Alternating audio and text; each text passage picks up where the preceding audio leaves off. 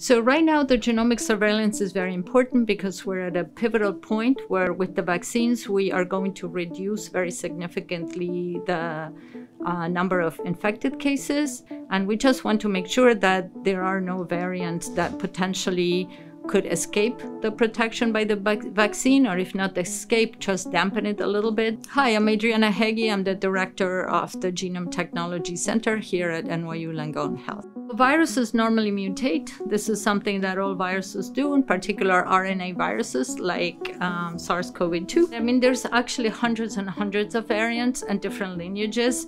Uh, and most of them don't mean absolutely nothing. Some of them may give rise to a more transmissible virus. So that's why we like to keep an eye on them. We want to see how the virus is evolving throughout the pandemic.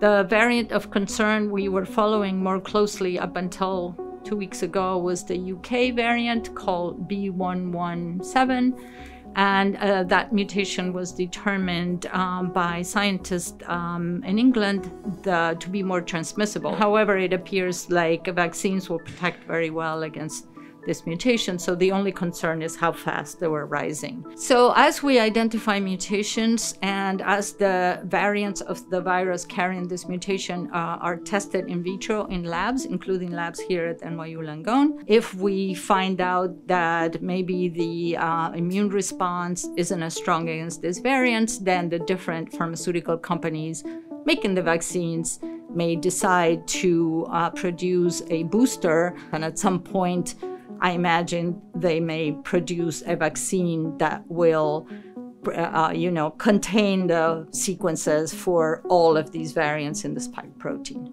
Every week, we inform both New York State Health Department as well as New York City Health Department how many of each variant of concern or variant of interest we have found in the population. And in theory, if one of these mutations or variants turned out to be more transmissible, more severe, then uh, the city or the state may decide on public health measures, you know, other than masking and washing your hands.